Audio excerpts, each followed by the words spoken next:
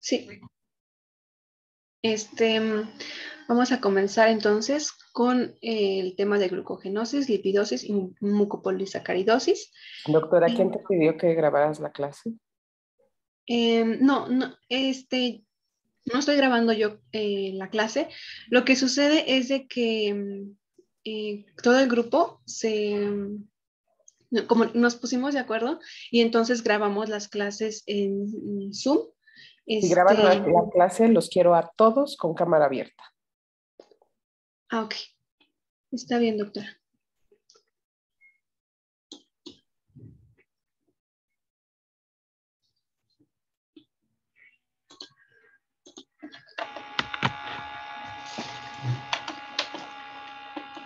Ok, bueno, entonces eh, vamos a continuar con el tema.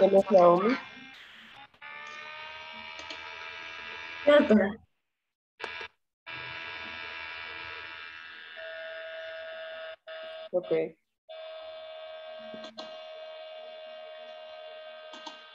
Inicia la clase. Nadie puede cerrar la cámara. ¿eh? Ok, gracias, doctora. Bueno, entonces comenzamos. Em, el equipo está integrado por Emily Carolina, por Mónica y su servidora Elizabeth. Y vamos a comenzar entonces con el contenido.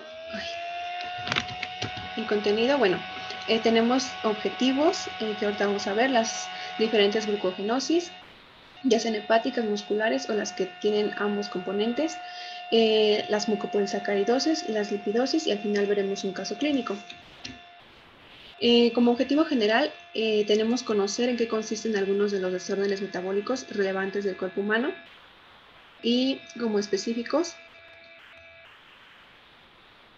Nuestros objetivos específicos serán adquirir una visión general de algunas vías metabólicas para comprender la fisiopatología de los desórdenes metabólicos, realizar diagnóstico oportuno a los niños con glucogenosis, lipidosis y mucopolisacaridosis, eh, realizar el abordaje multidisciplinario para el diagnóstico de los niños con estas enfermedades y pues se busca iniciar tratamiento multidisciplinario oportuno.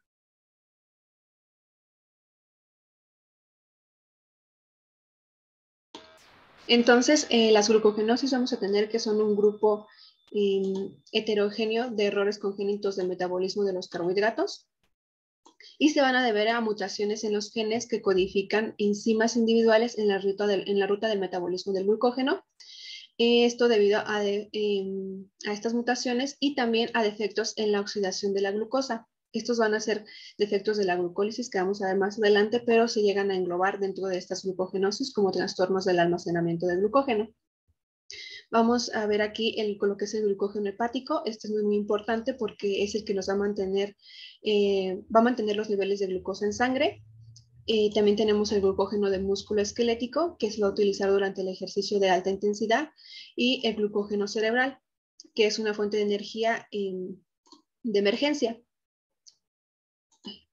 Entonces, ahorita vamos a ver mejor esto para poder entender las eh, diferentes glucogenosis. Entonces, em, también les quiero mencionar que dependiendo del defecto enzimático y su expresión relativa en ya sea hígado, riñón, músculo esquelético o corazón, las manifestaciones clínicas van a variar de un trastorno a otro. En el caso de las glucogenosis eh, que solamente están en, que afectan este, el hígado, se van a presentar con hipoglucemia en ayunas más más menos hepatomegalia porque van a haber algunas en las que no se presenta con este con hepatomegalia. Hay... Y bueno, entonces en las glucogenosis musculares eh, se va a presentar de dos formas distintas. Se puede presentar de dos formas, que es la intolerancia al ejercicio y la rabdomiólisis, o la debilidad muscular fija sin rabdomiólisis. Pero esto es de forma muy general. Ahorita vamos a ir viendo específicamente cada una de ellas y para poder entender esto, pues tenemos que ver lo que es la glucogénesis, que es la ruta anabólica por la cual tiene lugar la síntesis del glucógeno a partir de un precursor más simple que es la glucosa 6-fosfato.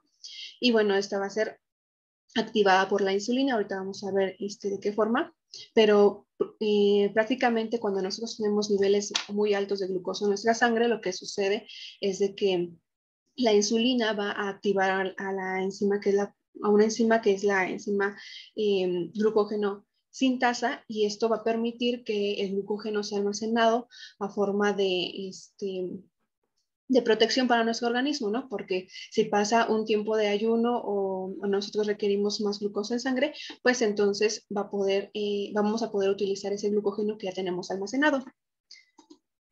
Ahora, este, aquí les muestro lo que es el glucógeno. El glucógeno va a ser un polímero, entonces este va a tener em, pues prácticamente un montón de moléculas de glucosa y em, van a existir entre cada molécula de glucosa lo que se conoce como enlaces glucosídicos alfa 1,4. Alfa 1,4 porque están este, entre el carbono 1 y el carbono 4 de cada molécula de, de, glucosa porque pues la molécula tiene seis carbonos, ¿no? Entonces, aquí lo importante que les, por, lo, por lo que les menciono esto, es porque este, tanto para formar estos enlaces como para formar las ramificaciones del glucógeno que se dan este, entre enlaces alfa 1,6, se requiere de enzimas distintas que eh, si se encuentra un defecto en estas, pues va a provocar alguna patología, alguna glucogenosis.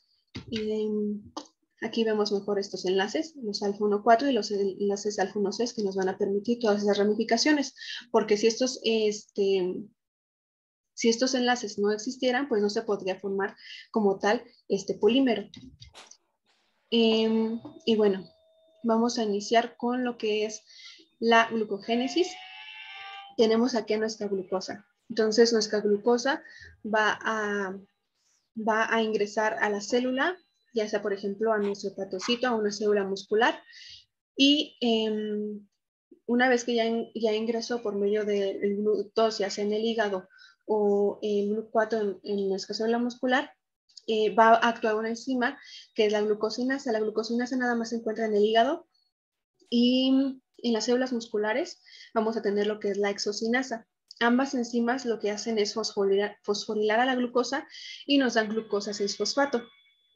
Esta, eh, esto lo pues, permite como tal activar a la glucosa y una vez que tenemos a la glucosa 6-fosfato va a actuar esa enzima que es la fosfoglucomutasa que va, la va a isomerizar y entonces va a pasar a ser glucosa 1-fosfato. El fosfato cambia de posición. Y bueno, ya que tenemos nuestra glucosa 1-fosfato, entonces em, se va a, la glucosa 1-fosfato va a reaccionar con nuestro trifosfato de uridina por medio de esta enzima, que es la UDP-glucosa pirofosforilasa. Lo que hace esta enzima es que le quita eh, dos fosfatos al trifosfato de uridina y entonces nos permite formar la uridina difosfato de glucosa, este, por, porque pues aporta este, un fosfato y la glucosa ya tiene un fosfato, ¿no? Entonces nos queda la uridina difosfato de glucosa. Y bueno, aparte de esto, nosotros tenemos una proteína muy importante que es esta que está aquí, que es la glucogenina. La glucogenina va a ser una enzima, eh, como les menciono, muy importante porque es la que va a permitir que se forme el glucógeno. Esta se va a quedar en la parte central del polímero para que de ahí pues salgan todas las ramificaciones y todas las cadenas.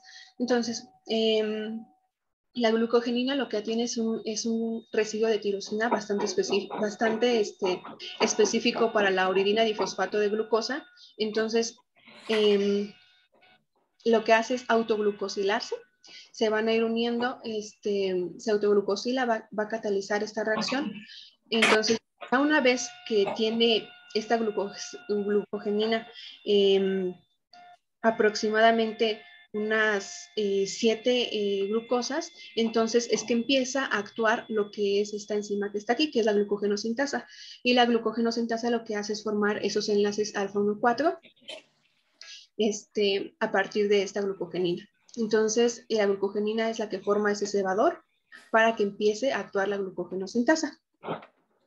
Y bueno, em, ya que se empiezan a formar este, más enlaces glucosídicos al 1,4 y que vamos teniendo nuestras moléculas de glucosa ahí, em, cuando ya este, va creciendo esta cadena de aproximadamente 11 em, moléculas de glucosa, va a actuar otra enzima es la enzima este, ramificadora que vemos aquí arriba.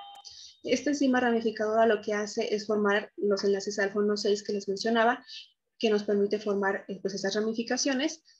Y esta enzima lo que hace prácticamente es que cuando la cadena está en crecimiento, eh, transfiere una parte de la cadena hacia una parte eh, de la cadena vecina y nos va a ir formando esas ramificaciones.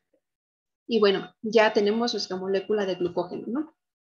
Em, ahora, si nosotros lo que necesitamos es como tal, por ejemplo, la glucosa en sangre o necesitamos eh, la, o el músculo necesita la glucosa para para hacer eh, glucólisis, eh, lo, que vamos a, lo que va a suceder es de que se van a activar otras, otras este, hormonas, más bien otras hormonas lo que van a hacer es actuar para activar ahora a la glucógeno fosforilasa e inhibir a la glucógeno-sintasa. En este caso es el glucagón y la adrenalina. Entonces, em, estas, estas hormonas lo que hacen es activarla y esta glucógeno fosforilasa lo que va a hacer es romper esos enlaces que habíamos tenido que formaban la cadenita de, glucosas alfa 1,4, ¿no? Esta es la que actúa. Pero, ¿qué va a pasar? Que ella no, esta enzima no puede eh, acabar con los enlaces alfa 1,6. Entonces, aquí lo que sucede es que entra esta otra enzima, que es la enzima de desramificación o la enzima desramificadora, y em, esta sí puede cortar esos enlaces y entonces ahora sí nos va a quedar bien nuestra glucosa 1-fosfato. Y eh, prácticamente esto es la, la, glucogenolisis, o sea, cuando empieza a actuar esta enzima, la glucogeno-fosforilasa, nos queda la glucosa 1-fosfato, luego eh, la glucosa 1-fosfato por medio de la fosfoglucomutasa pasa a glucosa 6-fosfato y la glucosa 6-fosfato por medio de esta enzima, que es la glucosa 6-fosfatasa, puede pasar a glucosa y la glucosa es, es la forma que puede salir de la célula. Em, en caso de que no tuviéramos glucosa 6-fosfatasa, pues se, quedaría adentro, ¿no? Y ahorita vamos a ver una patología que es la de uno, la, la glucogenosis 1A de von Wirke, que este, pues es precisamente porque falta esta, esta enzima. Y bueno, también les quería mencionar que la glucosa 6-fosfatasa es específica de, de hígado. Entonces, esta no existe en el músculo esquelético y, este, y es la que nos permite, e, precisamente por eso el hígado es el que mantiene los niveles de glucosa en sangre y no el músculo esquelético como tal. Y mm, también aquí les quería mencionar, pues, por ejemplo, si falta esta, es esta enfermedad que ya les decía. Si falta la glucogenosintasa, en el hígado va, a ser la glucogenosis 0A y en el músculo la glucogenosis 0B. Si llegara a faltar la enzima de ramificación, sería la enfermedad, este, la glucogenosis 4 de Andersen. Si faltara la, la, este, la, la glucogenofosforilasa, entonces sería la enfermedad de McCartle en el, en el músculo o glucogenosis tipo 5. Si faltara en el hígado, sería la enfermedad de Hertz, que, forma, que pasaría a ser la glucogenosis tipo, tipo 6.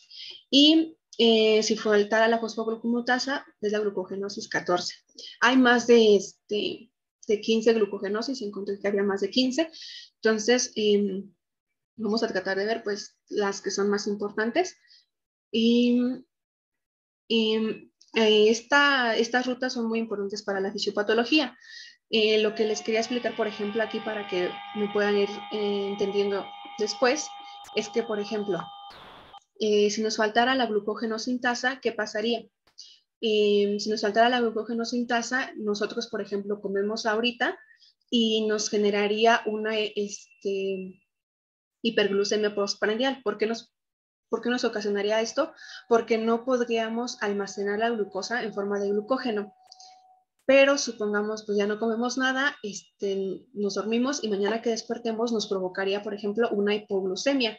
¿Por qué? Porque si no tenemos glucógeno, entonces nuestro organismo no puede adquirir la glucosa este, de, que viene del glucógeno, entonces tendríamos una hipoglucemia este, en ayunas. Entonces, por ejemplo, estas son eh, las características clínicas de esta.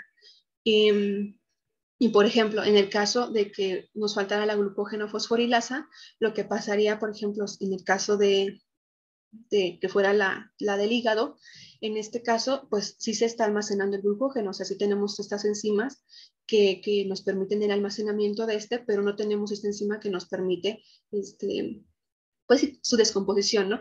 Entonces, quedaría almacenado ahí y nos provocaría una hepatomegalia. Nos provocaría una hepatomegalia y, este, y algunas otras características clínicas que vamos a ir viendo. Y, a ver, este, aquí en este diagrama pues se ven como que prácticamente este, todas las que, de las que voy a hablar.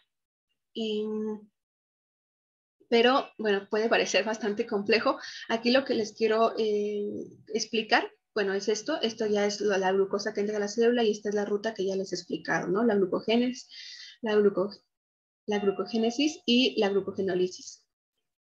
Y em, aquí la única enzima que creo que no les, no les enseñé en el otro diagrama es eh, la fosforilasa sinasa, que es esta enzima que si está ausente, pues nos va a provocar una glucogenosis tipo 9. Em, esta enzima tiene cuatro subunidades, entonces dependiendo de la subunidad que nos falte, va a provocar cuatro diferentes este, glucogenosis que se, que se denominan A, B, C y D, pero pues son de tipo 9, la tipo 9, ¿no?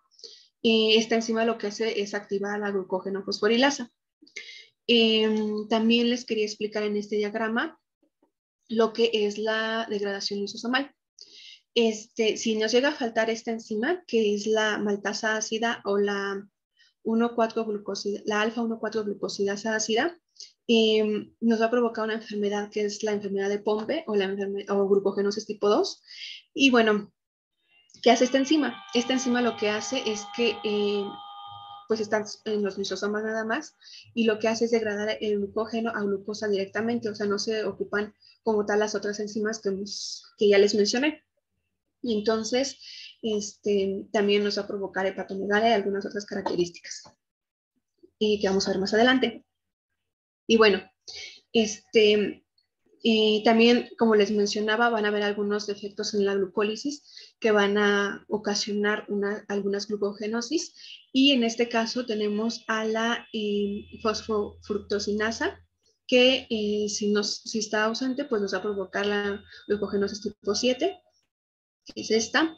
En el caso de que nos faltara la aldolasa, que es la que pues eh, permite que la fructosa no su fosfato pase a, las dos triosas que es dihidroxiacetona, el fosfato de dihidroxiacetona o el desfosfato gliceraldehído, eh, nos va a provocar pues una glucogenosis tipo 12. Eh, en el caso del que estuviera faltando la fosfoligicerato mutasa, y nos va a provocar una glucogenosis tipo 10.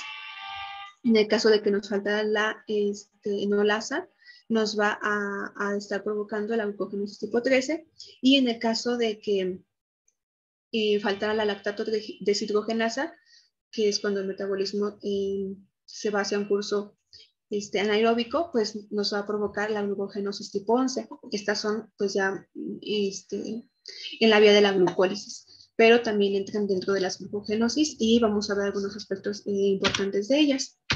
Entonces, bueno, vamos a, vamos a iniciar con las glucogenosis hepáticas. Voy a tratar pues de que, este, de pues, ser lo más breve posible y más concisa, pero sí son bastantes. Entonces, em, vamos a iniciar con la glucogenosis 0A, que era la que ya les había mencionado en las vías, y bueno, se debe, por, se debe a la deficiencia de la glucogenosintasa, ¿no? Entonces no podemos almacenar bien nuestro glucógeno, este, y esto nos va a provocar las características que les decía, hiperglucemia postprandial, hipoglucemia cetóxica después de un ayuno nocturno. No va a haber hepatomegalia porque no tenemos glucógeno almacenado. Van a haber también, eh, o se pueden presentar convulsiones hipoglucémicas. En el diagnóstico, en la mayoría de todas estas glucogenosis eh, podemos encontrar algunos parámetros este, de laboratorio que pues nos pueden dar como alguna idea, ¿no? Pero realmente el, diagnóstico de confirmación se va a hacer por medio de análisis enzimático invasivo, de una biopsia hepática o con pruebas este, eh, moleculares de ADN. Entonces, prácticamente estos son los, el diagnóstico de confirmación en todas, entonces no se los voy a ir repitiendo, pero sí se los coloqué para que pues, lo tuvieran presente, ¿no? Y en, el caso de esta, se puede presentar glucosa en sangre, lactato y alanina postprandiales altos. La terapia aquí va a ser evitar ayunos, eh, el almidón de maíz crudo, polímeros de glucosa comerciales y se necesita trasplante de hígado. Este, en el caso de eh, la glucogenosis tipo 1A, que es la enfermedad de von Gierke, eh, se va a deber a una glucogenólisis y gluconeogénesis defectuosas. Hay tanto tipo 1A y tipo 1B. Este, bueno, la tipo 1A es esta. Entonces, aquí vemos, aquí les, en, en todas las tablitas les coloqué aquí como pues este, el tipo de herencia, eh, la incidencia, el gen que está afectado, el cromosoma y la enzima que está también afectada, así como una eh, pequeña explicación de por qué, de, pues sí, de la fisiopatología, ¿no? Entonces, este, no voy a ir como diciéndoles en todas, ay, es el gen este, el cromosoma tal, eh, ahí se los coloqué por si ustedes en algún momento quieren revisarlo o tenerlo en cuenta, Nada más les voy a ir como mencionando, pues más que nada las características clínicas este, eh, y el tratamiento. Entonces, bueno, aquí como ya habíamos visto, eh, esto es por la, deficiencia de la, de la enzima alfa-glucosa 6-fosfatasa. Entonces, pues la glucosa no puede, no puede salir de, de la célula porque no se transforma en esta, ¿no? Entonces, aquí las personas pues, van a tener manifestaciones desde el periodo neonatal, se va a presentar como hipoglucemia en ayunas, hepatomegalia y como tenemos, em, como la glucosa llega hasta glucosa 6-fosfato, esta se va a ir hacia vías alternativas que van a conducir a acidosis láctica, hipercalcemia, hiperuricemia, hipertrigliceridemia, va a haber letargo, convulsiones, dificultad respiratoria y también retraso en el desarrollo. Y entre las complicaciones, vamos a tener adenomas hepáticos, nefropatía, osteoporosis, calcificación renal, anemia y síndrome de ovario poliquístico. Y en la terapia, pues em, aquí vamos, bueno, se necesita lo que son enfoques nutricionales con alimentación eh, frecuente de fórmula, refrigerios, el almidón de maíz crudo, em, el alopurinol, pues para la hiperuricemia, eh, algunos polímeros de glucosa, el trasplante de hígado y también terapia específica para la, para la hiperlipidemia, ¿no? Que van a tener estos pacientes. Y bueno, aquí vemos una imagen donde se ve la hepatomegalia de un paciente con enfermedad de von.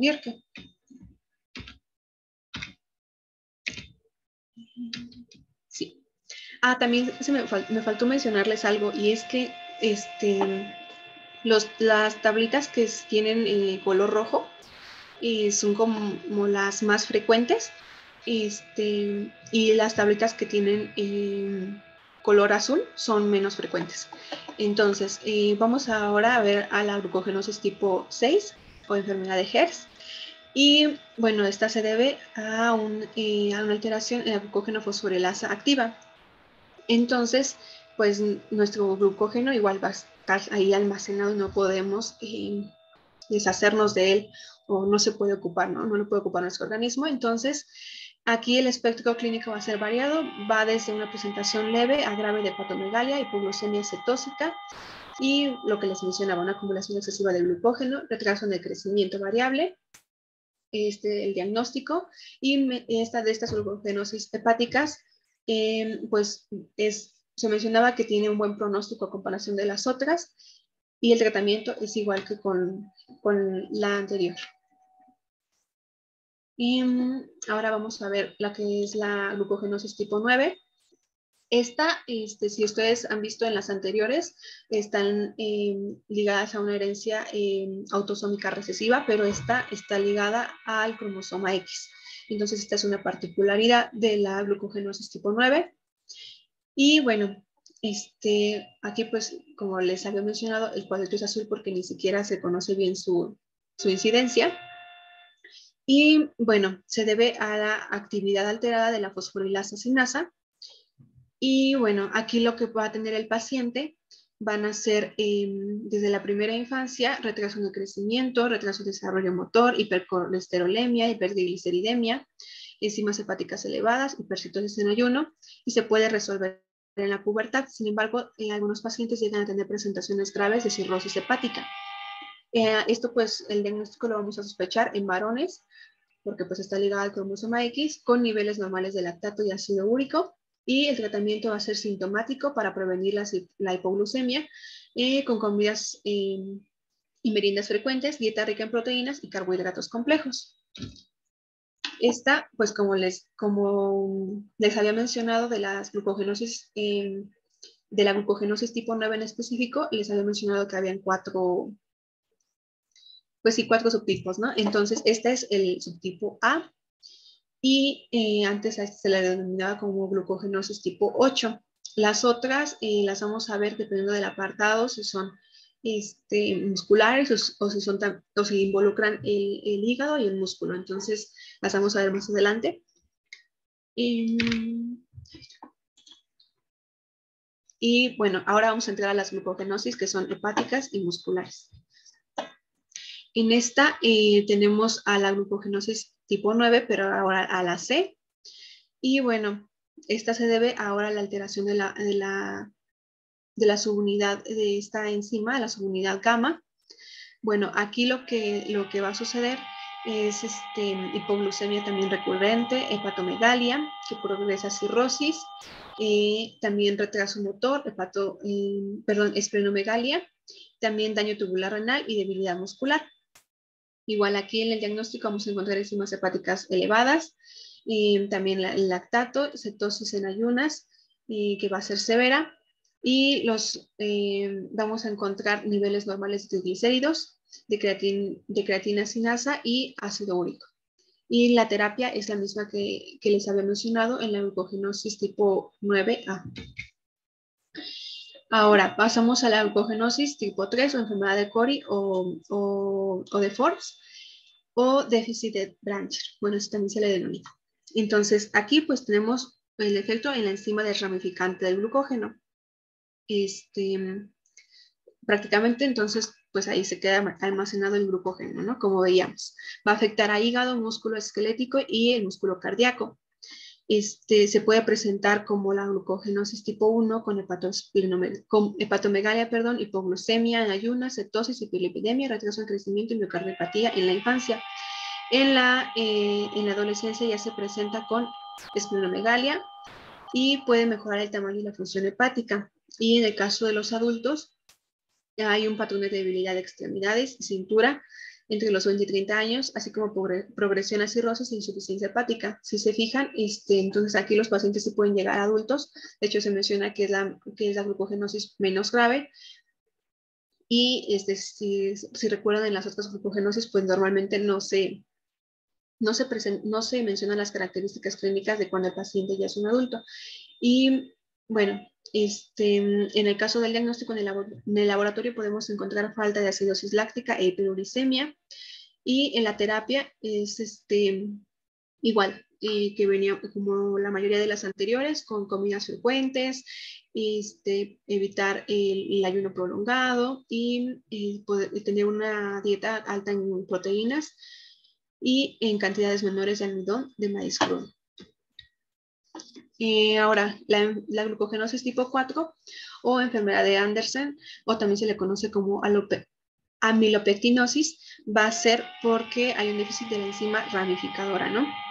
Entonces, em, al, haber un déficit de la enzima ramificadora, se van a formar esas cadenitas, pero no podemos formar bien este, pues, eh, los enlaces alfa 1-6 porque no se, no se pueden formar esas ramificaciones adecuadamente. Entonces, esto va a provocar que se em, acumule la glucosa eh, de forma normal, este, similar a una amilopectina. La amilopectina es un este, polisacárido que está en el almidón, entonces por eso también se le denomina amilopectinosis. Y bueno, la presentación clínica aquí es variable. Hay falta de crecimiento, hepatosplenomegalia, cirrosis, hipotonía, atrofia. Eh, esto cuando se presenta de forma, este, de forma hepática. Sin embargo, va a haber otro fenotipo que es el neuromuscular que se va a presentar con hipotonía, atrofia muscular, miopatía, miocardiopatía, disfunción del sistema nervioso central y periférico. Entonces, em, bueno, este, ya para el diagnóstico, aquí vamos a, eh, encontrar que la disfunción hepática con coagulación anormal puede ser un hallazgo en específico, pero em, ya a la hora de hacer la, biopsia se puede encontrar material similar a la amilopectina en hígado, corazón, músculo, cerebro o médula espinal. Y este, en la terapia no va a tener un tratamiento específico, sin embargo, se puede realizar un trasplante hepático siempre y cuando se tenga la forma nada más hepática clásica, eh, sin náuseas, eh, o, más bien que el paciente nada más tenga esto y no tenga afectado lo que es el, este, sistema eh, cardíaco o el sistema nervioso. Entonces, eh, esos son como las, los requisitos para que en este caso o en estos pacientes se pueda hacer un trasplante de hígado. Bueno, después tenemos a la glucogenosis eh, tipo, tipo B, em, tipo 9B, que como les mencionaba eran cuatro, y bueno, esta afecta a hígado y músculo, ya vemos viendo las características, si se afecta al hígado, si se afecta este, el músculo. Y bueno, aquí la terapia principalmente va a ser sintomática para prevenir la hipoglucemia. Ahora, entrando a las glucogenosis musculares, vamos a tener a la glucogenosis 0B. Esta, esta este, ya vemos esto, la glucogenosis 0A al principio, entonces esta pues nada más afectará al músculo, ¿no? La otra afectaba al hígado.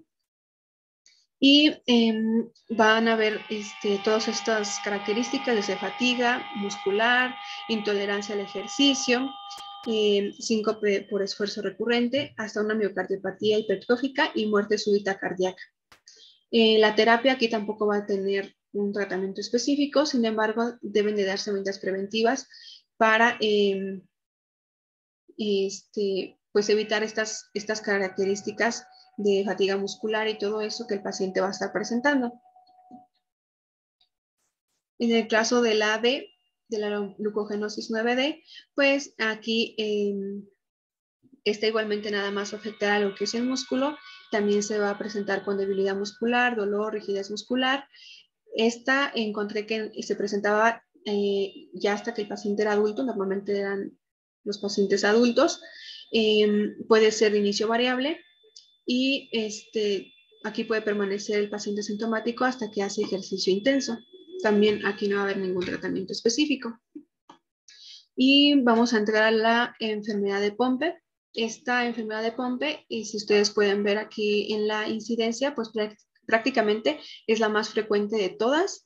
Y, de acuerdo a la bibliografía que consulte, pues es la más frecuente y también esta sí tiene como tal su, su guía de práctica clínica y de las demás, pues no, no vi guía de práctica clínica. Entonces, esta, y si se acuerdan en el inicio en la fisiopatología, lo que les decía es de que mm, se debe a que no, a que va a haber una función alterada de la maltasa ácida, que era la que degradaba el, el glucógeno directamente a glucosa, ¿no?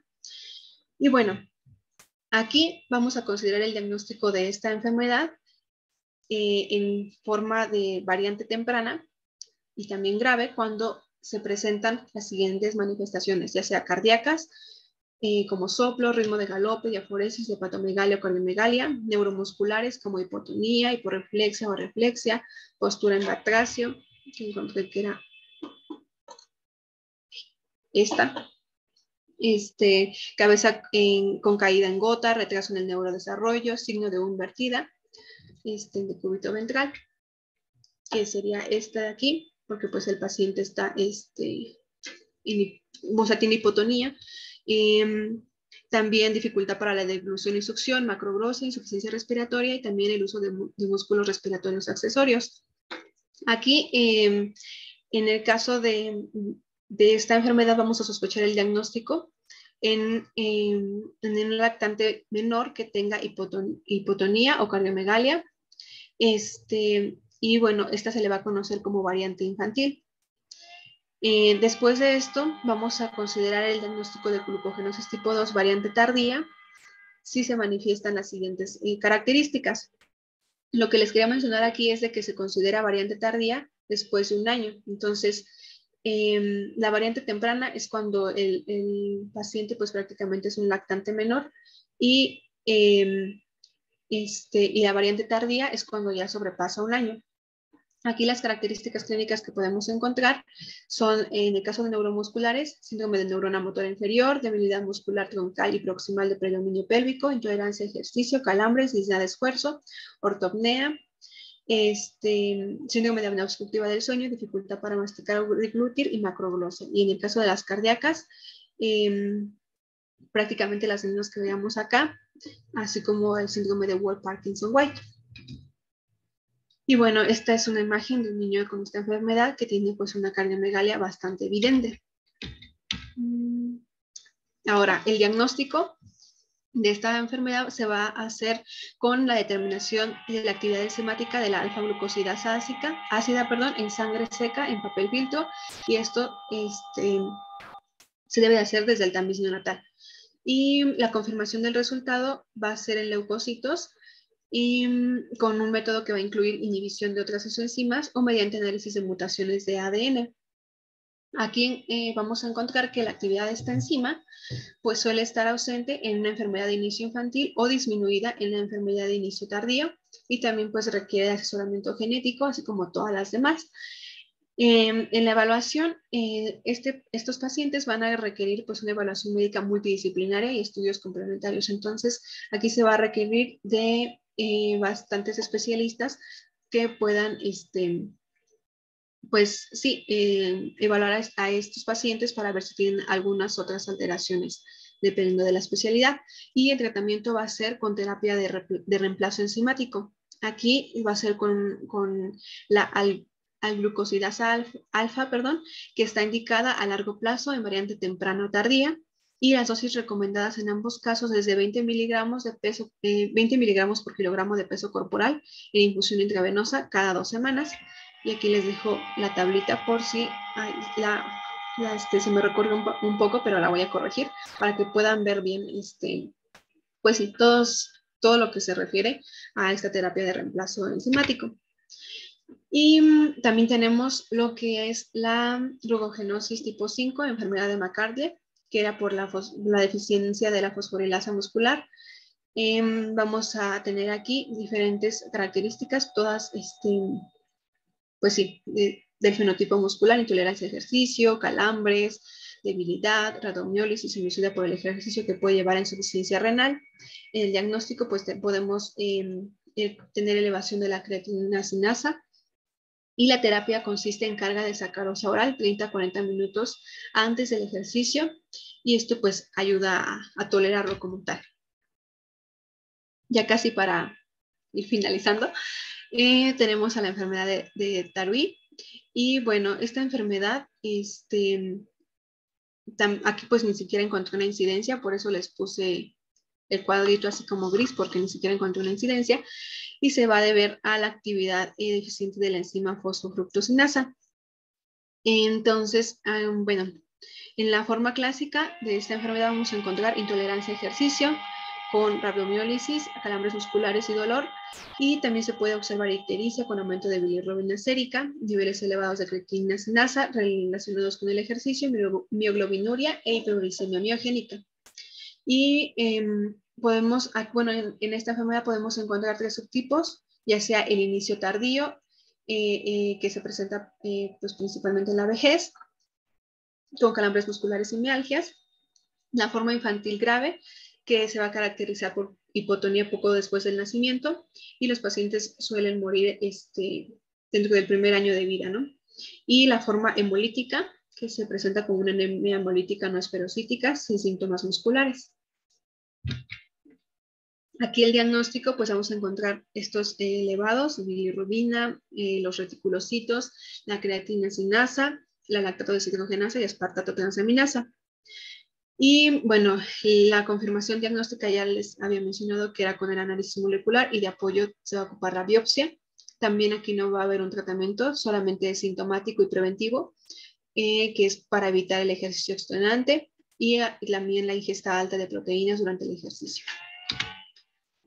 Y bueno, ya la glucogenosis tipo 10 se debe a la actividad este, alterada de la fosfoglicerato mutasa 2 muscular. Entonces, em, bueno, en este caso, los niños van a presentar, o los, ya sea en la niñez o la adolescencia, van a presentar calambres musculares, rhabdomiólisis, mioglobinuria, em, y estos van a estar precipitados por ráfagas de ejercicio vigoroso. El diagnóstico es eh, prácticamente como los demás, Y la terapia es el manejo de la miopatía sintomática con hidratación y evitación del ejercicio estenante. Aquí les dejo una tablita, este, este, no, no es el jardín. Ay, se me olvidó de, este es este libro de pediatría. Bueno, les voy a colocar bien la bibliografía abajo porque no me acuerdo bien de qué libro es ahorita, pero el punto de esto es de que lo que, el, bueno, el propósito de la tableta es para que ustedes puedan ver los desencadenantes de la rhabdomiólisis. Y de algunas de las principales, porque no vienen todas. Y en esta otra tablita eh, coloqué las otras eh, glucogenosis que ya no, ya no coloqué en tablas así grandes, Em, pero bueno, viene la 11, la 12, la 13, la 14 y la 15. Y aquí podemos ver los defectos enzimáticos de cada una de ellas. Entonces, mm, en el caso de la, la glucogenosis 11, como les mencionaba al principio, era por un efecto de la lactato de Entonces, esto se va a presentar, bueno, el paciente va a tener este, calambres musculares y dolor eh, inducidos por el ejercicio, rhabdomiólisis, milogrenuria, este, y también pueden haber lesiones eh, psoriásicas en el paciente. En el caso de la glucogenosis tipo 12, y se ha de ver a un defecto de la fructuosa 1,6 aldolasa. Y bueno, aquí se va, se va a presentar eh, con estatura baja el paciente, miopatía, eh, retardo mental, pubertad retardada, anemia hemolítica, facies dismórficas, así como hepatosplenomegalia. Em, en el caso de la glucogenosis eh, tipo 13, que se va a deber a un efecto enzimático de la beta-enolasa, eh, va a haber este, intolerancia al ejercicio, mialgia, raptomiólisis. En el caso de la, de la glucogenosis tipo 14, que se va a deber a la deficiencia de la fosfoglucomutasa, también igual va a haber estatura corta, este, paladar hendido, espina bífida, eh, este, patopatía, intolerancia al ejercicio, debilidad muscular, eh, hipogonadismo, hipogonadotrófico y bueno, en el caso de la glucogenosis tipo 15 se va a deber a un efecto en la glucogenina que era, se acuerdan de la enzima, ¿no? Que nos permitía este, formar el glucógeno, entonces va a haber ritmas cardíacas, también debilidad muscular y también va a haber un, este, un síndrome que es el de Fanconi Bickel, bueno, el síndrome de Fanconi Bickel, y bueno, este, este se va a deber al defecto de, del, del GLUT2.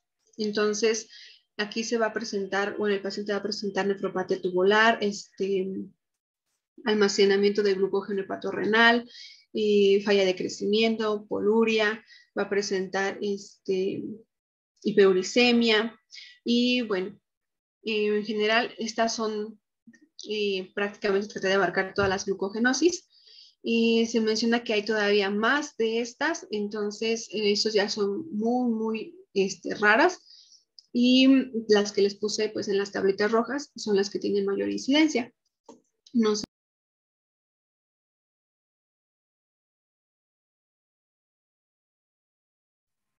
este tu micrófono. ¿Perdón? Habías apagado tu micrófono y hablaste y ya no te escuchamos. Ay, perdón. Lo que les estaba diciendo, lo que les estaba diciendo es de que prácticamente esas son todas las eh, glucogenosis. Hay más, pero este, traté de abarcar eh, las más frecuentes en las tablitas rojas para que las puedan checar eh, ya después. Y este, y no sé si tengan alguna duda, si no, pues avanzaríamos con, con la siguiente parte de la exposición, que serían las mucopolisacaridosis.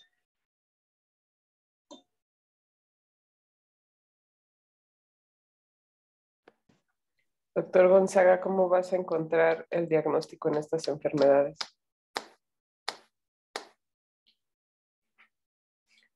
Doctor Adrián Gonzaga, ¿escuchaste? Midiendo las enzimas, que pues indique, bueno, conforme la clínica me vaya diciendo. ¿En qué lo vas a medir?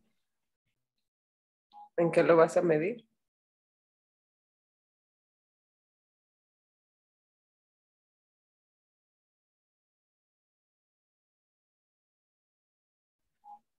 Pon atención en la clase porque estás en otra cosa, doctor.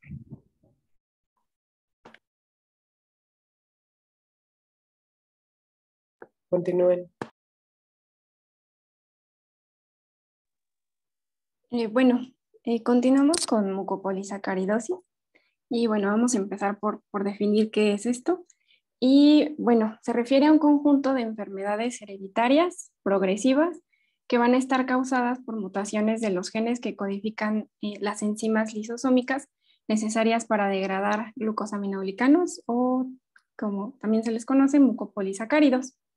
Em, también encontré otra definición que, que, me gustó, se las voy a mencionar, y nos habla de que estas mucopolisacaridosis eh, son un grupo de enfermedades que se generan por deficiencias enzimáticas y por lo tanto pues eh, van a estar caracterizadas por una acumulación lisosomal de sustancias que van a ser intermediarias del metabolismo de los mucopolisacáridos o glucosaminoglicanos y como sabemos pues estas son eh, macromoléculas que van a proporcionar un soporte estructural a la matriz extracelular y son parte importante de procesos de comunicación y regulación celular.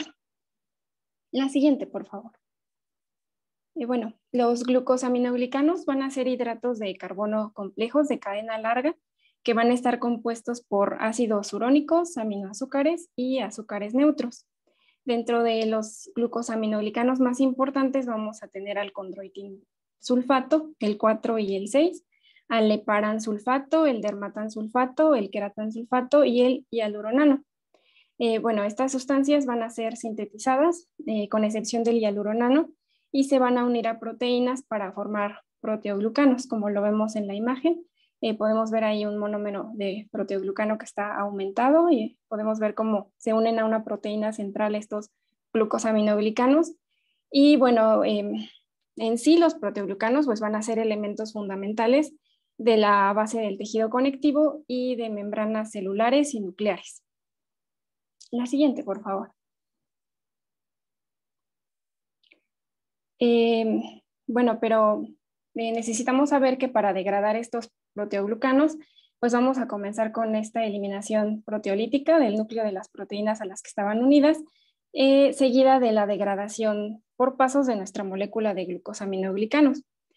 Eh, los defectos en esta degradación, debidos a una ausencia o a una disminución de, de la actividad de las enzimas lisosómicas que van a estar mutadas, va a resultar en esta acumulación intralisosómica de los fragmentos de glucosaminoglicanos, como podemos ver en la imagen, eh, pues vemos este, una representación esquemática de cómo sería esta acumulación intralisosómica cuando no tenemos enzima o hay poca enzima.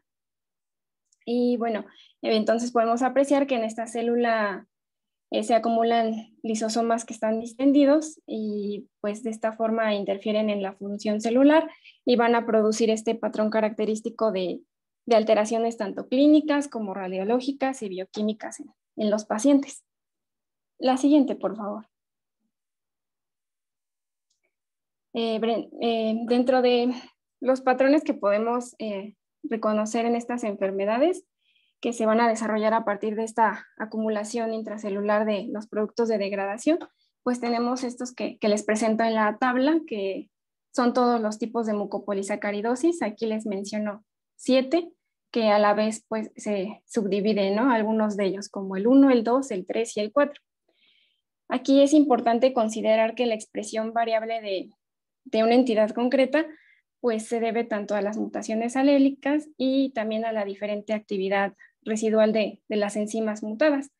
Por ejemplo, tenemos eh, la mutación alélica del gen que va a codificar para la alfa 1 hidroronidasa, ¿no? que es la primera que tenemos en el cuadro, y esto da lugar a una enfermedad que es la que conocemos como el síndrome de Hurler grave o o, eh, bueno, sí, síndrome de Hurler, y este va a presentar una mortalidad precoz, mientras que eh, cuando nos referimos a una enfermedad de Shea, pues esta es eh, leve y únicamente se va a manifestar con lo que es una limitación de, la motilidad articular, de alteraciones en, el sistema pues, osteoarticular, como, afectaciones esqueléticas leves y también pues por ejemplo, opacidades corneales. Entonces podemos ver la, diferencia ¿no? de, esta actividad residual de las enzimas mutadas.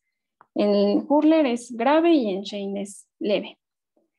La siguiente, por favor. Bueno, y de cada uno de ellos vamos a hablar más adelante. Eh, aquí les presento una tabla con, el fenotipo de, de, las mucopolisacaridosis según el glucosaminoglicano que encontremos acumulado. En el caso del dermatansulfato, pues vamos a presentar un fenotipo somático. El heparansulfato nos va a producir un fenotipo neurológico, esto principalmente en los tipos de mucopolisacaridosis 1, 2 y 3, mientras que el queratansulfato y el condroitinsulfato, pues eh, el fenotipo es eh, predominantemente esquelético y esto lo podemos encontrar en el tipo 4 y en el tipo 7. Eh, estas enfermedades son de tipo autosómicas recesivas, a excepción de la enfermedad de Hunter, que esta es recesiva, pero va a estar ligada al cromosoma X. La que sigue, por favor.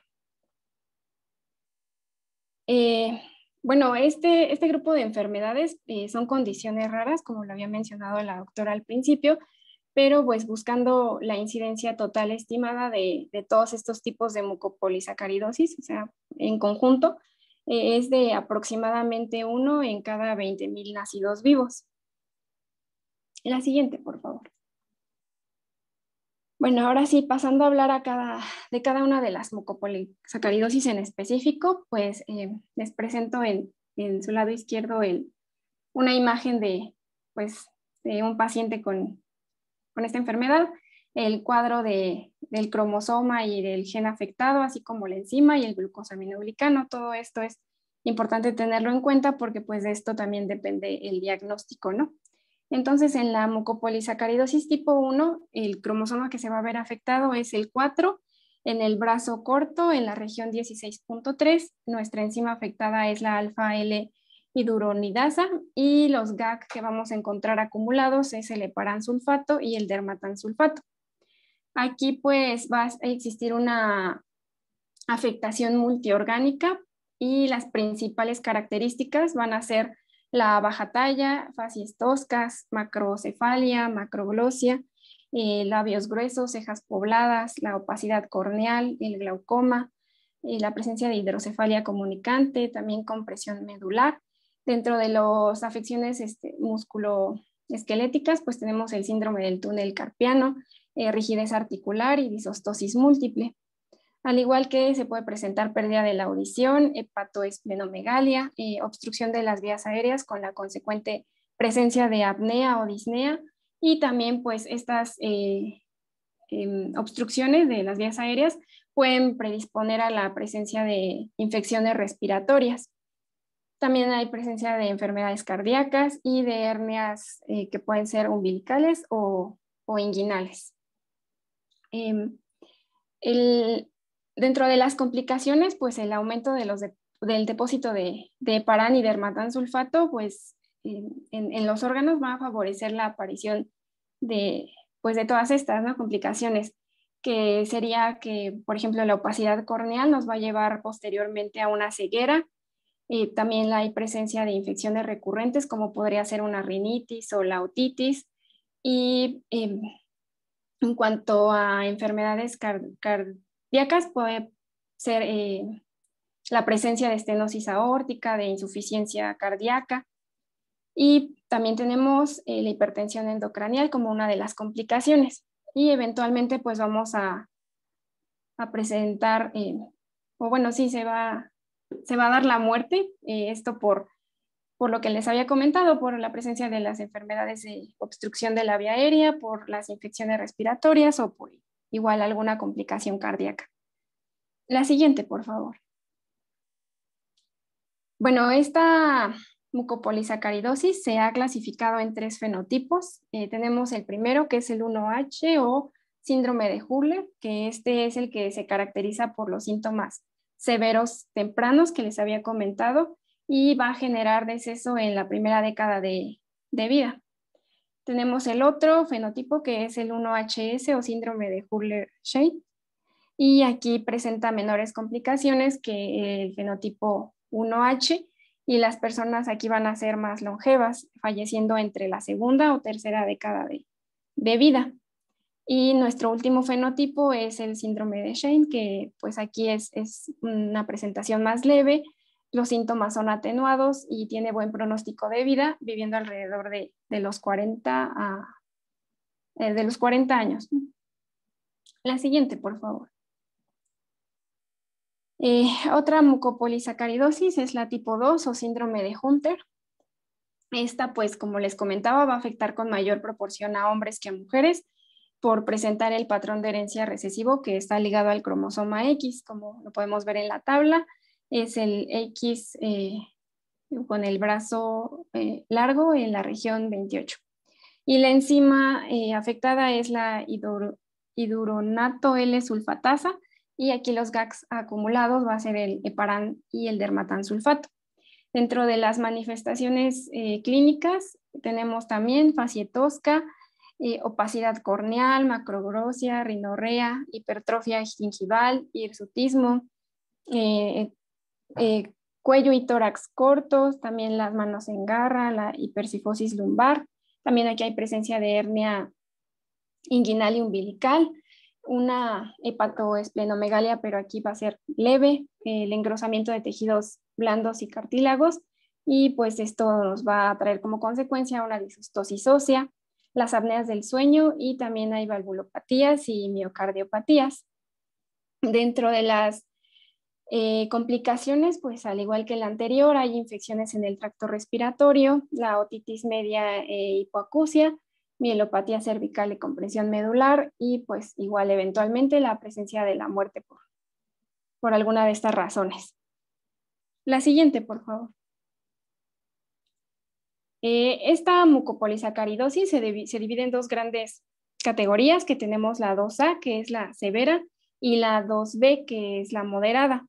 La aparición de las manifestaciones clínicas en la 2A es en los primeros meses y en la 2B eh, aparecen estas manifestaciones a los 3 o 4 años.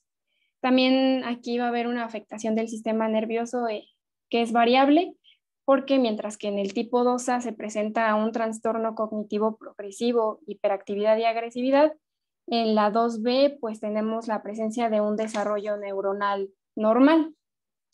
La siguiente, por favor. pasamos con eh, la mucopolisacaridosis tipo 3 o síndrome de San Filipo.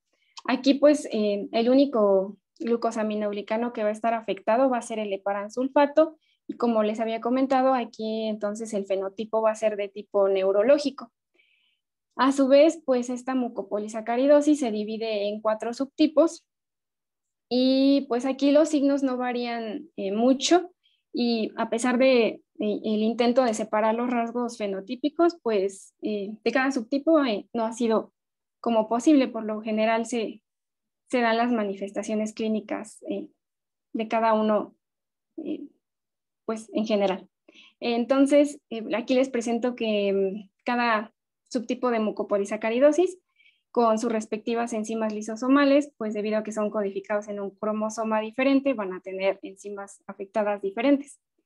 Em, entonces tenemos la tipo 3A, que eh, la enzima afectada va a ser la N-sulfoglucosamino sulfohidrolasa y el cromosoma afectado es el 17 en el brazo largo en la región 25.3.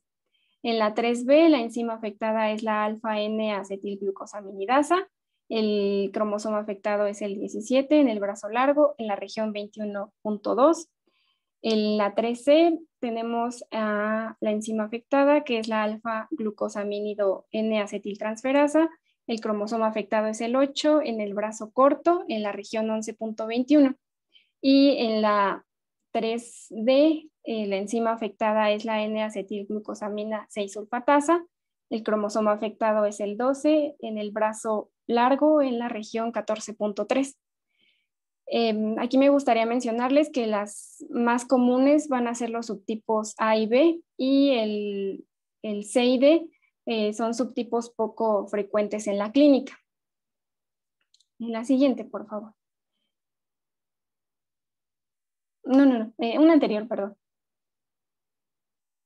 Ahora, hablando de las manifestaciones clínicas, como les comentaba, pues van a ser en general de, de todas. Y eh, en cuanto a la a las características por el fenotipo neurológico podemos encontrar el retardo del lenguaje, la hiperactividad, eh, agresividad y trastornos del sueño. Eh, los rasgos dismorfológicos aquí no van a ser tan evidentes y bueno, por ejemplo, tenemos la facie tosca, pero esta va a ser de manera sutil, también la presencia de macroglosia, de cejas pobladas, eh, un labio inferior grueso y evertido, la dolicocefalia, el surco nasolabial prominente, hirsutismo, hipoacusia, otitis e infecciones de las gargantas. Em, sobre las complicaciones, em, estas se van a producir en tres fases. La primera fase va a comenzar antes de los tres años y aquí esta se va a caracterizar por hipoacusia, retraso en el lenguaje, la falta del control de esfínteres, eh, otitis, faringitis y diarrea. En la segunda fase que inicia entre los 3 y 4 años, aquí se va a hacer evidente pues trastornos del sueño eh, con hiperactividad y agresividad y también en pocos casos aparecen signos como escoliosis, sifosis, eh, lordosis lumbar y síndrome del túnel carpiano, ¿no? que pues ya serían las afecciones del sistema osteomiarticular. Y por último, nuestra tercera fase en cuanto a complicaciones eh, va a aparecer hacia la primera década de vida. Y aquí pues la hiperactividad va a cesar, hay un aumento de la espasticidad, hay pérdida del equilibrio, presencia de convulsiones y pues finalmente hay una pérdida importante de la movilidad y esto va a generar una incapacidad permanente. También pues debido a esto surgen problemas para deglutir y alimenticios y lo que hace que la ingesta de estos pacientes pues sea de forma líquida y en algunos casos incluso se llegue a ocupar sonda nasogástrica. Eh, aquí los pacientes van a fallecer entre la segunda y la tercera década de la vida y pues usualmente es por las infecciones del tracto respiratorio severas.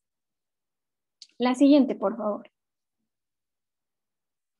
Continuando con la mucopolisacaridosis tipo 4 o síndrome de Morquio, pues esta tenemos que existen dos subtipos. Em, tenemos la 1A, Aquí hay afección del sistema osteomiarticular, esto por la alteración del, del metabolismo del queratán y condroitin sulfato.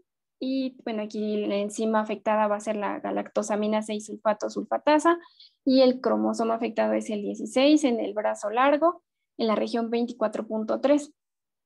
mientras que pues en el tipo 4B hay acumulación del queratán sulfato solamente y va a presentar igual manifestaciones clínicas similares a la, a la 4A. Eh, también hay una diferencia en cuanto a la prevalencia de, de ambos subtipos, mientras que la 4A es, em, bueno, tiene una frecuencia de 1, a, de 1 por cada 200.000 nacidos vivos, la 4B tiene una prevalencia estimada de 1 por cada 640 mil nacidos vivos, ¿no? Vemos que es más frecuente la tipo 4A. Em, y bueno, aquí en la, en la 4B la, enzima afectada es la beta galactosidasa y el cromosoma afectado es el 3P eh, con em, la región 22.3. La siguiente, por favor.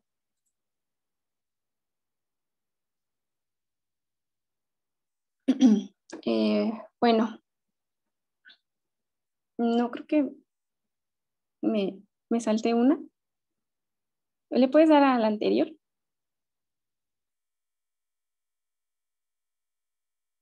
Ahí está, esa. Ahora, para hablar sobre las manifestaciones clínicas, pues, em, como vemos, el, el condroitin sulfato es el, el glucosaminoglicano afectado, entonces, pues, nos va a dar y afecciones esqueléticas. Entonces, eh, pues aquí las alteraciones van a aparecer entre el primer a tercer año de vida y va a ser baja talla, tronco corto, pectus carinatum, como vemos en la imagen, si fue escoliosis, hiperlaxitud, inestabilidad de la columna cervical y también la presencia de vértebras en cuña u ovoides, eh, la fase tosca, que pues aquí igual no va a ser muy marcada, em, presencia de prognatismo, de boca amplia, un puente nasal plano, eh, opacidades en la córnea, eh, así como la presencia de malformaciones y caries en los dientes, al igual que hipoacusia, cuello corto y una hipoplasia odontoidea. y también podemos ver en la imagen la, eh, la afección que puede tener en extremidades inferiores, que puede ser eh, genuvalgo y pie plano. Y bueno, sobre las complicaciones, pues eh, van a variar dependiendo de la severidad de la enfermedad y también de la edad del paciente, pero en general puede ser las plegias secundarias a las lesiones cervicales, esto por, por la presencia de la hipoplasia odontoidea, eh, también algunas restricciones respiratorias por las malformaciones del tórax, por la escoliosis y, también la presencia de pato y esplenomegalia. La siguiente, por favor. Ahora sí, eh, la siguiente mucopolisacaridosis es la 6 o síndrome de Moroteux-Lamy. Aquí el cromosoma afectado va a ser el 5 en el brazo largo en la región 14.1. Las enzimas ah, afectadas es la N-acetilgalactosamina 4-sulfatasa, también conocida como aril sulfatasa B, y los GAC acumulados son el condroitin y el dermatansulfato. Aquí eh, las características clínicas se van a presentar en dos espectros de la enfermedad. Uno que puede ser leve o lenta y otra que puede ser severa o rápida. Eh, la severa va a comenzar generalmente antes de los dos años de edad y va a presentar complicaciones cardíacas. Esto pues posteriormente va a llevar al deceso entre la segunda o tercera década de vida, mientras que la forma leve va a comenzar de forma eh, tardía, eh, siendo las alteraciones musculoesqueléticas de características leves también las primeras en aparecer clínicamente y van a fallecer entre la cuarta a quinta década de vida. Aquí, pues, en las principales características clínicas para ambos espectros, se va a encontrar la baja talla para la edad, la presencia de disostosis múltiple, de rigidez articular, de opacidad corneal, las facies toscas y también valvulopatías y miocardiopatías, que también son estas las principales causas de muerte. Eh, ahora sobre las complicaciones, pues la acumulación del dermatansulfato va a, llevar a, varias complicaciones a nivel pulmonar, que pueden ser tanto extrínsecas como intrínsecas, y igual las complicaciones oculares eh, van a hacerse presentes aquí, que serían la opacidad corneal, el glaucoma, edema de papila eh, con atrofia óptica, y pues esto siempre se va a apreciar en en este tipo de mucopolisacaridosis, pero que ya se encuentre avanzada. Y también en, cuanto a las alteraciones cardíacas, puede haber presencia de estenosis, de las insuficiencias de, las válvulas como la mitral, la tricúspide o la aórtica. Y también hay presencia de endocarditis e hipertrofia ventricular. La siguiente, por favor. Eh, esta es la mucopolisacaridosis tipo 7 o síndrome de Sly. Aquí em, el cromosoma afectado es el 7 en el brazo largo, en la región 11.21. La enzima afectada es la beta glucoronidasa y los GAGs acumulados van a ser el dermatán y el heparansulfato. Las principales características van a ser la baja talla, la macrocefalia, facies tosca, eh, cuello corto, opacidad corneal, pectus carinatum, sifosis, escoliosis, eh, hepatoesplenomegalia, eh, presencia de hernia umbilical o inguinal, la disostosis múltiple, también hipoplasia odontoidea, eh, hipertricosis, la displasia cetabular, articulaciones contraídas, también hay retardo del neurodesarrollo, hidrocefalia y aquí es importante mencionar que como manifestación prenatal podemos encontrar la presencia de un hidrops fetal. Aquí em, también hay presencia de infecciones respiratorias frecuentes y en la forma grave el, el retraso del neurodesarrollo es muy marcado. La siguiente, por favor. Eh, ya por último tenemos eh, la mucopolisacaridosis 9 o síndrome de Natowitz. Aquí eh, va a existir un depósito lisosomal de ácido hialurónico. la enzima afectada es esta, es hialuro-no-glucosaminidasal y el cromosoma afectado es el 3 en el brazo corto en la región 21.31. Se va a caracterizar por una baja talla, una óvula bífida, paladar hendido, puente nasal deprimido, y también la acumulación de masas en tejido blando periarticular. Eh, los cambios faciales aquí no van a ser tan severos, pero pues sí, sí hay. También hay presencia de otitis media y eh, se menciona que un signo que puede ser patognomónico de esta eh, enfermedad son las erosiones acetabulares. La siguiente, por favor. Ahora, hablando sobre el diagnóstico de, de las mucopolisacaridosis, pues vamos a iniciarlo como todo con una historia clínica, ¿no? Que va a ser completa y pues aquí eh, es preciso pues hacer énfasis en, en los antecedentes, eh, es decir, pues si existen otros miembros en la familia con las mismas características clínicas o de, de igual forma si existe consanguinidad parental por el mecanismo de herencia que tiene, ¿no? Que es autosómico recesivo a excepción de la tipo 2, que sabemos que es ligada a X, recesiva. También es necesario pues conocer la edad de inicio de, estas manifestaciones clínicas, el orden cronológico de su evolución, también la, presencia de las complicaciones y todo esto porque pues son datos fundamentales que nos pueden orientar al diagnóstico. Eh, estos eh, eh, hallazgos clínicos pues van a ser el, punto de partida para, orientarnos al diagnóstico y también a pues hacer una aproximación al tipo de mucopolisacaridosis que, que presente el paciente. De igual forma tenemos eh, pues hallazgos que podemos encontrar en, en, estudios de imagen, como puede ser en las radiologías, para, para evaluar principalmente la presencia de disostosis ósea. Y bueno, entonces teniendo ya en cuenta nuestra sospecha inicial, se debe continuar con estudios que son de tamizaje para posteriormente realizar estudios confirmatorios. Dentro de estos estudios de tamizaje eh, van a ser igual para todos los subtipos de mucopolisacaridosis, eh, ya que pues lo que se quiere determinar es si existe excreción de glucosaminoglicanos en orina. Como tenemos aquí en, el esquema, eh, se hace pues la sospecha clínica de mucopolisacaridosis para posteriormente hacer una determinación de estos glucosaminoglicanos en orina eh, que tenemos aquí. En, el caso del dermatansulfato o encontrar su presencia, pues podemos eh, pensar en una mucopolisacaridosis de tipo 1, 2 o, o 7 e incluso en una de tipo 6. Eh, aquí también pues tenemos la deficiencia de múltiples sulfatasas. esta también pues entraría en, Mm, entre las sospechas porque se trata de una, pues, sí, de una enfermedad en la que vamos a encontrar más de uno de, los glucosaminoglicanos afectados, ¿no? Como podemos ver aquí, puede estar afectado el dermatansulfato, el heparansulfato y el condroitinsulfato, que, pues, en caso de, que se encuentren, nos haría pensar en esta deficiencia de múltiples sulfatasas.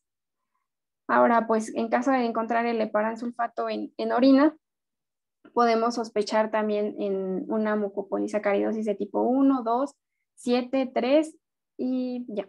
Eh, en caso del de sulfato, la mucopolisacaridosis a sospechar pues sería la 4A eh, y la 6. En el sulfato sospecharíamos de la tipo 4A y también de la 4B. Y en, en una elevación o determinación de GAC de ácido hialurónico, donde encontremos ácido hialurónico, pues estaríamos pensando únicamente en la mucopolisacaridosis tipo 9. La siguiente, por favor.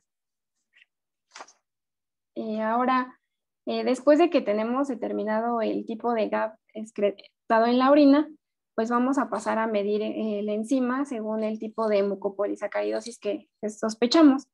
En este caso, pues tenemos tres alternativas, ¿no? Eh, si la determinación de la enzima es normal, se considera otro tipo de mucopolisacaridosis o se trata de otra enfermedad y consideramos eh, otros diagnósticos diferenciales.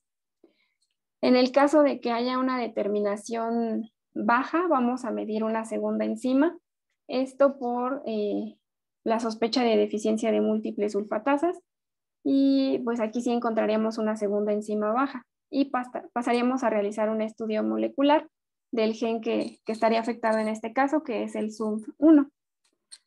Eh, pero bueno, aquí lo que nos interesa es que si tenemos una sola enzima baja, creo que se fue la doctora.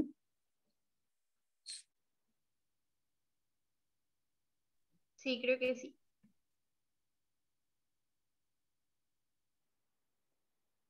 Ay, bueno, ¿la esperamos? Sí, no, sí. ¿Tiene falta? Sí, yo creo que sí. ¿Que me puso falta, dice? Dice. Voy a tardar todavía para dejarle entrar. Hay que darle una calentadita, ¿no? Ya la voy a dejar entrar.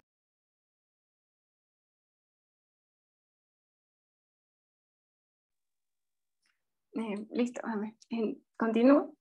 Entonces, eh, si tenemos eh, solo una enzima baja, vamos a continuar con la confirmación diagnóstica. Y pues ya de acuerdo a nuestra enzima vamos a tener pues, el tipo de mucopolisacaridosis que, que se va a estar presentando y esta determinación enzimática se, se toma de leucocitos o fibroblastos y ya posteriormente que tenemos eh, la determinación enzimática, pasamos a confirmar nuestro diagnóstico con un estudio molecular del gen que se encuentra afectado, que pues no se los mencioné en las tablitas, pero también eh, ahí estaba presente. Eh, la que sigue, por favor.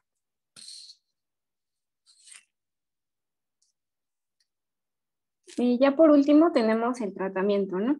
Que este va a estar dirigido a disminuir tanto la progresión de la enfermedad como también para mejorar la calidad de vida del, paciente. Ah, nos mencionan que hace algunos años, pues el, único tratamiento que existía era pues el de tipo paliativo, pero ah, eh, ahora tenemos eh, dos tipos de tratamiento y el primero de ellos sería el trasplante de células madre hematopoyéticas y también la terapia de reemplazo hormonal. Eh, para la mucopolisacaridosis tipo 1, nos dice que pues ha dado buen resultado la, el trasplante de células madre hematopoyéticas de forma temprana, pero pues esto no se logra captar en todos los casos y por lo tanto pues debe tratarse con terapia de reemplazo hormonal, que en este caso es administrada de, forma endovenosa y se va a emplear aquí la loranidasa, que es la alfa-L hidroronidasa recombinante humana.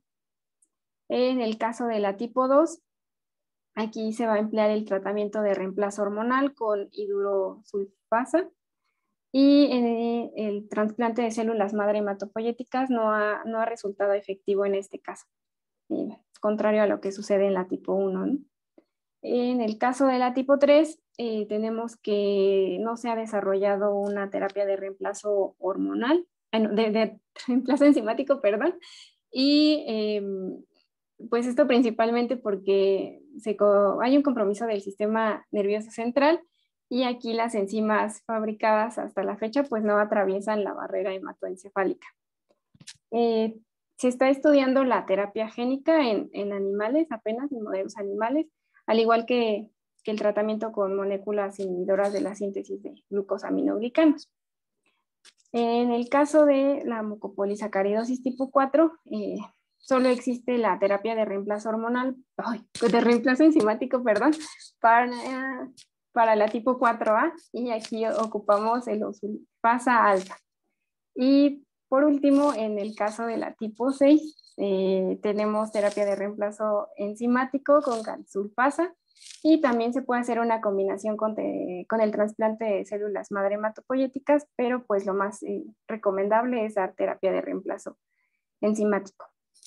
Eh, para los otros tipos de mucopolisacaridosis, pues aún no hay un tratamiento pues específico, pero pues se debe dar un manejo transdisciplinario de, pues de acuerdo a los, a los sistemas que se ven afectados, que como vemos pues son muchos.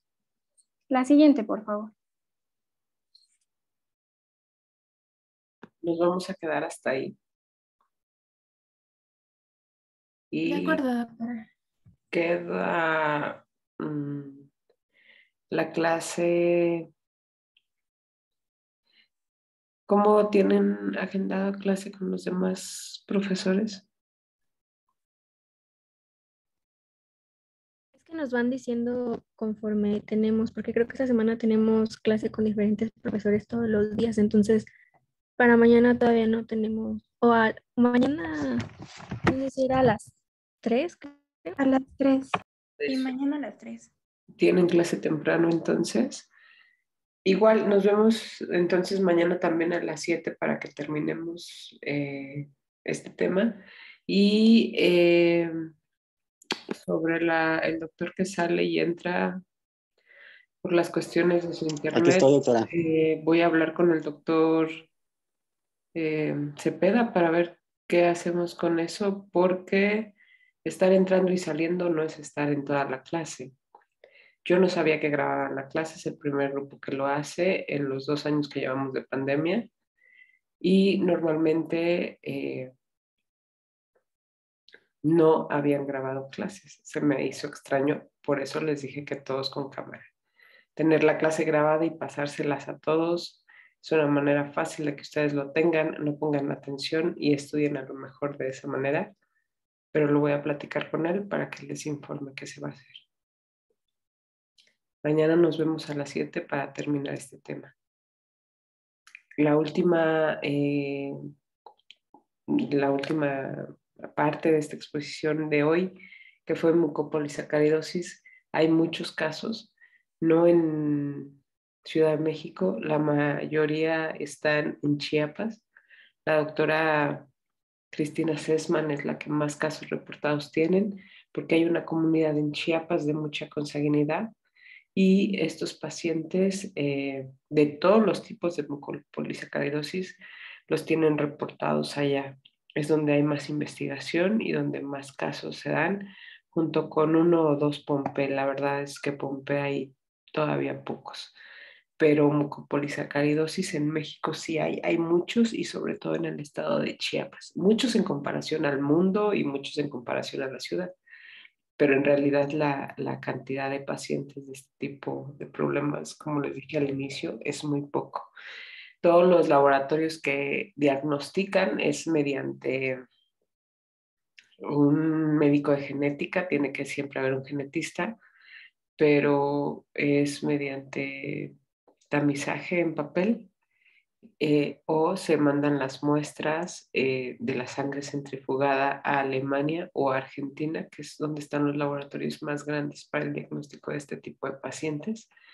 Pero el problema real de no diagnosticarlos no es que los laboratorios no lo puedan hacer, porque lo hacen de manera gratuita, aunque sean laboratorios caros. El problema es que no se piensa en este tipo de enfermedades hasta que están muy avanzados. Si se dan cuenta las características de los niños de mucopolisacaridosis, las características físicas son muy marcadas, pero eh, a pesar de eso, como se parecen a la familia, no piensan que lo tienen. Entonces, eh, a mí me decían, no hay niños feos, hay niños con enfermedades genéticas. Entonces, cuando se sale del prototipo no es normal. O sea, los niños ni son chuecos, ni tienen por qué tener ese tipo de crecimientos de rasgos tan toscos. O sea, eso no es normal. Por eso es por lo que deben, eh, o me imagino que el, el fin de meter estos temas ya desde hace varios años en la carrera muy específico, porque sí vienen en varios exámenes, es ese, que tengan eh, en mente que deben de diagnosticarlos, porque nos, o, a lo mejor dentro de una evolución de un niño que ven varios meses o varios años, sepan que ese tipo de características o que vayan cambiando, porque va cambiando mucho la fisionomía, no es normal. Entonces nos vemos mañana a las 7. Sí, doctora, hasta mañana. Vale. Mañana, doctora. Gracias.